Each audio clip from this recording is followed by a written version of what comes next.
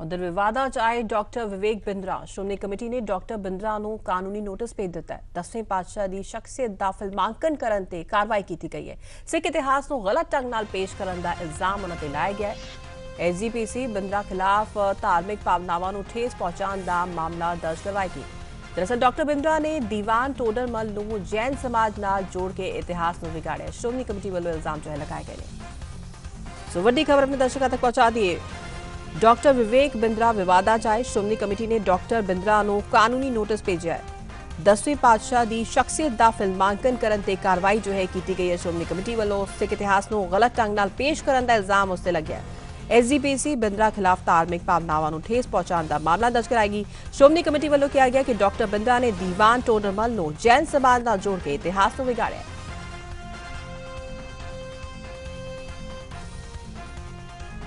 So doctor Vivek Bindra ਜੋ ਹੈ ਵਿਵਾਦਾਂ ਵਿੱਚ ਆਏ। ਸ਼੍ਰੋਮਣੀ ਕਮੇਟੀ ਨੇ ਡਾਕਟਰ ਬਿੰਦਰਾ ਨੂੰ ਕਾਨੂੰਨੀ ਨੋਟਿਸ ਭੇਜਿਆ ਸ਼੍ਰੋਮਣੀ ਕਮੇਟੀ ਨੇ ਕਿਹਾ ਹੈ ਕਿ ਡਾਕਟਰ ਬਿੰਦਰਾ ਨੇ ਦੀਵਾਨ ਟੋਡਰਮਲ ਨੂੰ ਜੈਨ ਸਮਾਜ ਦੇ ਨਾਲ ਜੋੜ ਕੇ ਇਤਿਹਾਸ ਨੂੰ ਵਿਗਾੜਿਆ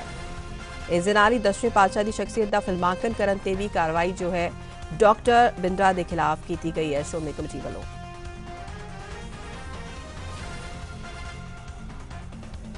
ਸਿੱਖ ਇਤਿਹਾਸ ਨੂੰ ਗਲਤ ਢੰਗ ਨਾਲ ਪੇਸ਼ ਕਰਨ ਦਾ ਇਲਜ਼ਾਮ ਜੋ ਹੈ ਡਾਕਟਰ ਵਿਵੇਕ ਬਿੰਦਰਾ ਤੇ ਲੱਗਿਆ ਹੈ ਐਸਜੀਪੀਸੀ ਬਿੰਦਰਾ ਖਿਲਾਫ ਧਾਰਮਿਕ ਭਾਵਨਾਵਾਂ ਨੂੰ ਠੇਸ ਪਹੁੰਚਾਉਣ ਦਾ ਮਾਮਲਾ ਦਰਜ ਕਰਵਾਏਗੀ ਇਸ ਦੇ ਨਾਲ ਹੀ ਸ਼੍ਰੋਮਣੀ ਕਮੇਟੀ ਵੱਲੋਂ ਕਿਹਾ ਗਿਆ ਕਿ ਡਾਕਟਰ ਬਿੰਦਰਾ ਨੇ ਦੀਵਾਨ ਟੋਡਰਮਲ ਨੂੰ ਜੈਨ ਸਮਾਜ ਦੇ ਨਾਲ ਜੋੜ ਕੇ ਇਤਿਹਾਸ ਨੂੰ ਵਿਗਾੜਿਆ ਹੈ ਸੋ ਡਾਕਟਰ ਵਿਵੇਕ ਬਿੰਦਰਾ ਜੋ ਹੈ ਵਿਵਾਦਾਂ ਵਿੱਚ ਆਏ ਨੇ ਸ਼੍ਰੋਮਣੀ ਕਮੇਟੀ ਨੇ ਡਾਕਟਰ ਬਿੰਦਰਾ ਨੂੰ ਕਾਨੂੰਨੀ ਨੋਟਿਸ ਭੇਜ ਦਿੱਤਾ ਹੈ ਦਸਵੇਂ ਪਾਤਸ਼ਾਹ ਦੀ ਸ਼ਖਸੀਅਤ ਦਾ ਫਿਲਮਾਂਕਨ ਕਰਨ ਤੇ ਕਾਰਵਾਈ ਜੋ ਹੈ ਕੀਤੀ ਗਈ ਹੈ ਡਾਕਟਰ ਬਿੰਦਰਾ ਦੇ ਖਿਲਾਫ ਸਿੱਖ ਇਤਿਹਾਸ ਨੂੰ ਗਲਤ ਢੰਗ ਦੇ ਨਾਲ ਪੇਸ਼ ਕਰਨ ਦਾ ਇਲਜ਼ਾਮ ਡਾਕਟਰ ਬਿੰਦਰਾ ਤੇ ਲੱਗਿਆ ਹੈ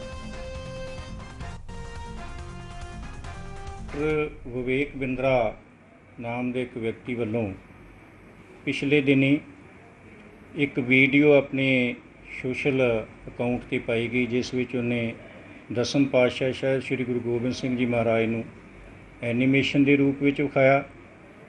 ਔਰ ਇਸੇ ਤਰ੍ਹਾਂ ਦੀਵਾਨ ਟੋਡਰਮਲ ਦੇ ਨਾਲ ਜਿਹੜਾ ਸੀਗਾ, ਉਹ ਗੱਲਬਾਤ ਕਰਦਿਆਂ ਵਿਖਾਇਆ ਗਿਆ। ਕਿਸੇ ਵੀ ਗੁਰੂ ਸਾਹਿਬਾਨ ਜਾਂ ਉਹਨਾਂ ਦੇ ਪਰਿਵਾਰ ਦੇ ਉੱਤੇ ਜਿਹੜਾ ਕੋਈ ਵੀ ਜਿਹੜੀ ਐਨੀਮੇਸ਼ਨ ਫਿਲਮ ਆ,